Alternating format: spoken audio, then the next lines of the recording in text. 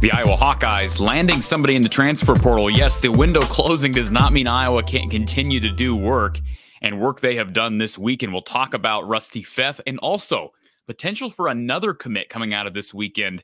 We'll talk about that in a second as well. But first of all, want to remind you to check out Iowa floor covering and their tough core click together 4.5 millimeter waterproof vinyl flooring. It's available at a really low rate, 269 per foot with self installation. Visit iowafloorcovering.com slash DIY. Tyler, the guys down there, cannot express how much I appreciate how much they've supported the show. So I ask you, as the viewer, as the listener, as the supporter of this show, to support Iowa floor covering. And of course, Ascent Nutrition, Lance Shuttler.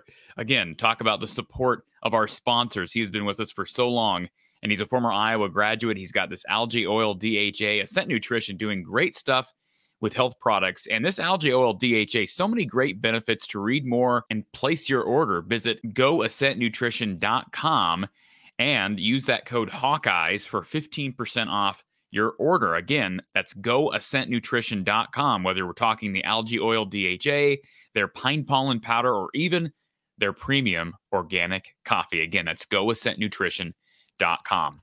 So the Hawkeyes getting great news on a Sunday. Miami, Ohio grad transfer interior offensive lineman Rusty Feth, a guy who has one year of eligibility remaining, will use that year of eligibility in Iowa City. The Ohio native, a guy who actually played under George Barnett when Barnett was back at Miami, uh, visited this weekend along with Virginia linebacker, uh, along with Virginia linebacker Nick Jackson, who's in the transfer portal. We'll talk about him in a moment.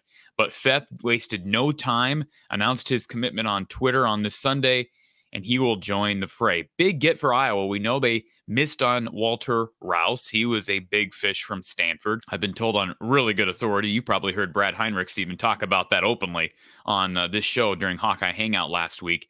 That Walter Rouse, a large pull for Rouse, was NIL. I'm guessing Rusty Feth maybe had some NIL opportunities, but it was by far not the biggest pull here. And he's got an opportunity. If he has a good year at Iowa, perhaps uh, he can find a spot in the league. Don't know if he would have been able to do that being a second team all conference guy in the MAC. And I mean, look, there, there's no question about it. He's going to have an opportunity to develop. Again, he'll get in the strength room. He doesn't get here until the summer, but he'll get in that strength conditioning program He's already listed around 300, 305. And then we're talking fall camp, the season, bowl prep. He's going to have an opportunity to get even better uh, heading into the NFL draft. And a lot of these guys who are in the portal, uh, that's what they're looking for. Some of these guys are graduates. They're looking for a fourth, fifth, or even a sixth year at times uh, to increase their draft stock. I would have to think a guy like Rusty Feth is more concerned with that than maybe making a quick buck. Purdue offered Rusty, West Virginia offered Rusty Feth, Virginia also offered. Uh, so he had opportunities to go other places. He hasn't been in the portal all that long. What a week, maybe two. Iowa got in on him, got the visit scheduled, and uh, they were able to convince him to pull the trigger sooner rather than later. And keep in mind, the portal window did already close. But one thing you need to remember is, as a graduate transfer, you can enter the portal whenever. And Charlie Jones did that last year, entered the portal in June. I know a lot of people didn't appreciate the timing of all that but that's the freedom you have as a graduate. Now, keep in mind, Rusty Feth has not yet graduated. He's on pace to graduate, I believe, in May, which means he could get here in June, but he'll not be enrolled. He is not enrolled at Iowa this semester, will not be able to participate in spring practice. You know, you'd like to have him there, but man, th- that line needs developed all the way across, right? You get Daijon Parker in. He is there right now um, working, and of course, he'll be a part of spring ball you hope you can groom him into your next probably right tackle if Mason Richmond can make a step forward, take a step forward at left.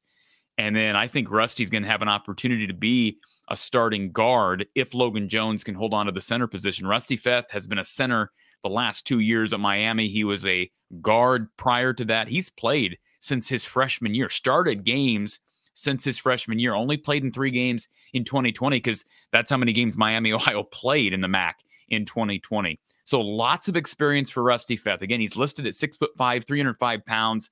I don't think he looks that big on tape. I think he's probably closer to like six three, maybe 295, but I could be wrong. Regardless, though, that's plenty big to play center at Iowa.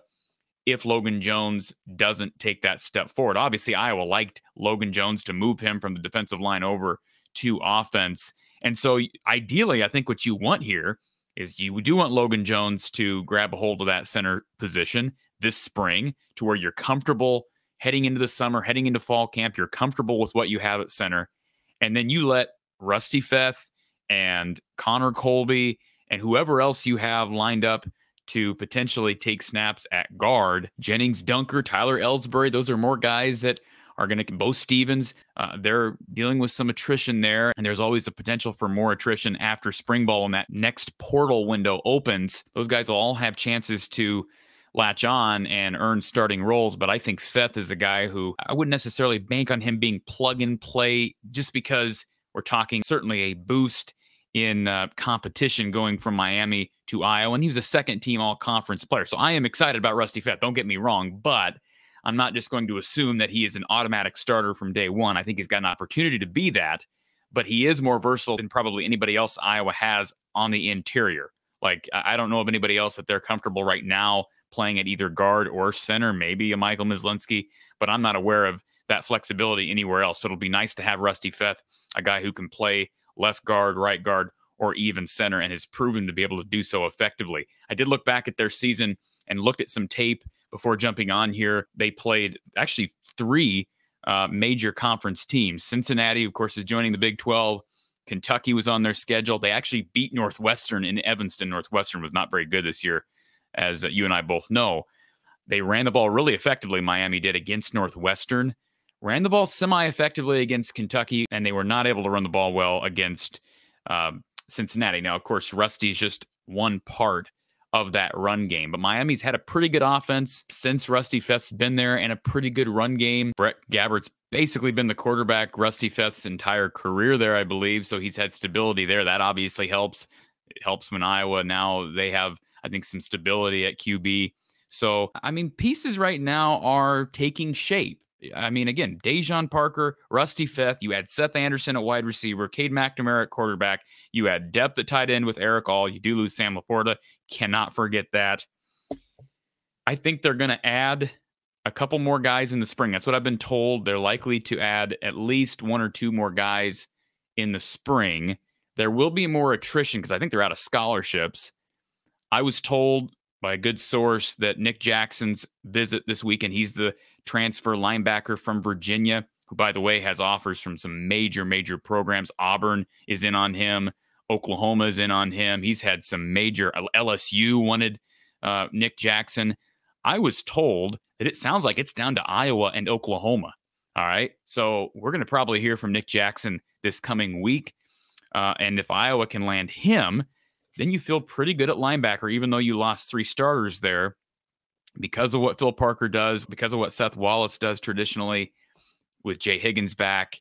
And they've got pieces there to work with. And then I think you add, sounds like maybe a wide receiver is still on the table for the post spring portal window opening and maybe a DB. They've been in on some. And uh, I mean, personnel wise, I, I, think they can uh, do okay despite the losses of TeSlaa and Rouse and guys they've missed on. You're going to have misses. Certainly, the coaching conversation is still very valid, and nothing on Brian Ferentz. Crickets. The longer we go here, the less likely it becomes that he's going anywhere. And the moment Kirk Ferentz schedules a press conference and announces that Brian Ferentz is returning, that's when we'll know. I mean, I'm not trying to uh, state the obvious, but that's the bottom line. I will be completely sold that he's back once I hear it from Kirk Ferentz in a press conference, which could come as early as this next week. Rusty Feth will get here in June. The Hawkeyes hopefully building more depth this spring along that offensive line, which will help greatly. And I want to remind you, folks, uh, I'll be here throughout the spring and the summer talking Hawkeye football, recruiting news, transfer portal news, etc. And this evening at 9 p.m., we have a special treat for you. Iowa postgame. That's Iowa men's basketball postgame with Coach Gary Close. So Iowa defeating Rutgers earlier today. The Scarlet Knights falling in Carver Hawkeye Arena. Exciting victory for the Hawks, the one they desperately needed.